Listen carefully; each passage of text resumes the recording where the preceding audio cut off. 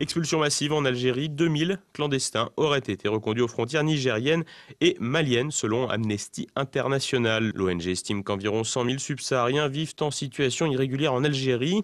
En septembre, un millier de Nigériens en situation irrégulière avaient déjà été rapatriés. Le gouvernement français pourrait en prendre de la graine.